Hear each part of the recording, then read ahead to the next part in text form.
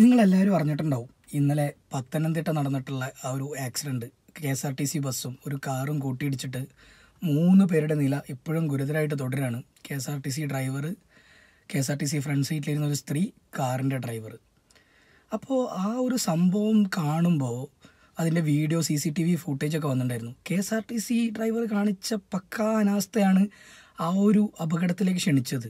ഒരു നിരപരാധിയായ കാറുകാരൻ ഒരു തെറ്റും ചെയ്യാതെ വളരെ മിതമായ സ്പീഡിൽ പോയിക്കൊണ്ടിരിക്കുന്ന അയാളുടെ ജീവൻ വരെ അപകടത്തിലാക്കിയിട്ടാണ് ആ കെ എസ് ആർ ടി സിന്റെ ആ ഒരു ഡ്രൈവറുടെ ഡ്രൈവിങ് അതായത് ഒരിക്കൽ പോലും ഓവർടേക്ക് ചെയ്യാൻ പാടില്ലാത്ത ഒരു ഏരിയയിലാണ്. അതായത് റോഡിന്റെ യെല്ലോ ലൈൻ എന്ന് പറയുന്നത് ഒരിക്കൽ പോലും ഓവർടേക്ക് ചെയ്യരുത്. കാരണം അത്രയും ഇടുങ്ങിയ റോഡിൽ ഒരു യെല്ലോ ലൈൻ വരച്ചിട്ട് കാരണം ചെറിയൊരു കറവുള്ള ഏരിയയിൽ യെല്ലോ ലൈൻ വരച്ച് വെച്ചിട്ടുണ്ട്. ഒരിക്കൽ പോലും അവിടെ ഓവർടേക്കിംഗ് പാടില്ല എന്നുള്ളത്. ആ ഒരു ലൈനും കടന്ന് ഓവർടേക്ക് ചെയ്ത് വന്നിട്ടാണ് ഈ അപകടം ക്ഷണിച്ചു വരുത്തിയത് ആ ഡ്രൈവർ അപ്പോൾ ഈ K S R T C ഡ്രൈവർമാരുടെ ഇങ്ങനത്തെ അനാസ്ഥ മൂലം എത്ര എത്ര ജീവനുകളാണ് നമ്മുടെ റോഡിൽ പൊലിയുന്നതെന്നുള്ളതാണ്. അപ്പോൾ നമുക്ക് എന്തായാലും ആ ഒരു C C T V footage ഒന്ന് ഞാനിവിടെ കാണിച്ചു തരാം. നമുക്കതൊന്ന് കാണാം.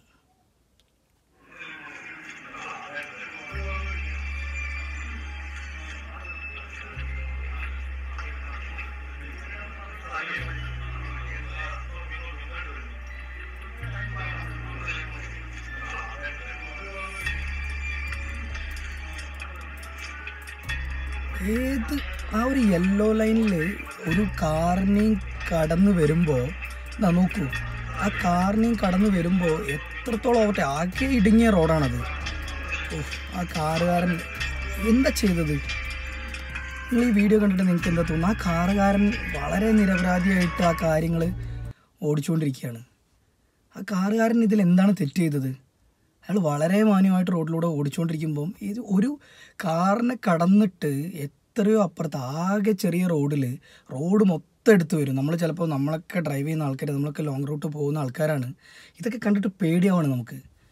കാരണം റോഡിൽ ഇനി ആ കാറുകാരന് സ്ഥലമില്ല. കാർ ആ സൈലോക്കാരൻ ആ സൈലോക്കാരാണ് അപകടത്തിൽപ്പെട്ടത്. ആ സൈലോക്കാരൻ ഇനി എന്താണ് ചെയ്യേണ്ടത്? അയാൾക്ക് സ്ഥലമില്ല എങ്ങോട്ടെങ്കിലും മാറ്റാൻ. അപ്പോൾ ഈ ഒരു കെ എസ് ആർ ടി സിയുടെ ഈ അനാസ്ഥ മൂലം എത്ര എത്ര ജീവിതങ്ങൾ പോലെയുന്നു. അപ്പോൾ ഇതൊരു ഗവൺമെന്റ് സിസ്റ്റത്തിൽ ഓടുന്ന ബസ്സിൽ അവിടെ ഒരു പ്രോപ്പർ ട്രെയിനിങ് കൊടുക്കാൻ ആൾക്കാരില്ല? ഒരു ഡ്രൈവർ ഒരു K S R T C driver ആവാൻ ഭയങ്കര കാര്യമാണ്. K S R T C driver ആയാലും ജീവിതം സെറ്റായി എന്നൊക്കെ പറഞ്ഞിട്ട്. പക്ഷേ അങ്ങനെ ഒരു K S R T C drive ചെയ്യുന്ന ആൾക്ക് അല്ലെങ്കിൽ ഇത്രയും വലിയൊരു പൊതുഗതാഗതം ഡ്രൈവ് ചെയ്യുന്നവർക്ക് അത് പ്രോപ്പർ ട്രെയിനിങ്ങിന്റെ ആവശ്യമുണ്ട്. അല്ലെങ്കിൽ ഇനിയും ഇതേപോലത്തെ ആക്സിഡന്റുകളും റോഡിലെ പല ജീവിതങ്ങളും നമ്മൾ പൊലിയുന്നത് കാണേണ്ടി വരും.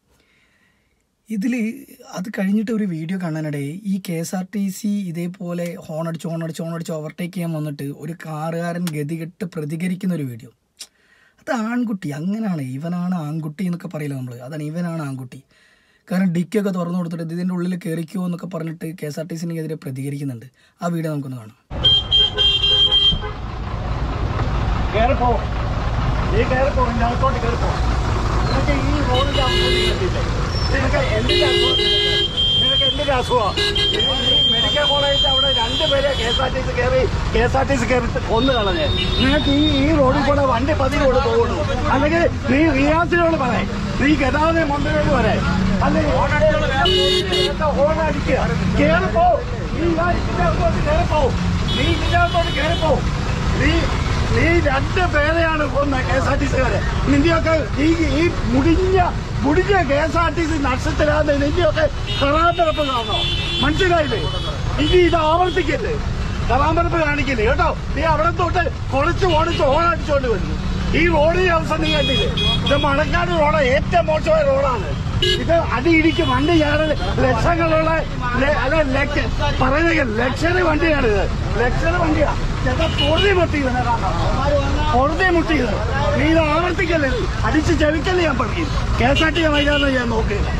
പറഞ്ഞേക്കാം. കയറി പോന്നി ഡോറ് തുറന്നേ ഗുണ ഗുണമെന്ന് അടിച്ചോണ്ടിരിക്കുന്നത് ഈ റോഡിന്റെ അവസ്ഥ ഇങ്ങനെ കാണാം. അല്ലല്ല, വേറെയില്ല. എന്താണ് ഈ റോഡിൽ കൂടെ എങ്ങനെ പോകും? ഇതിന് ഒന്നാമത് രണ്ട് മൂന്ന് പേരെയാണ്.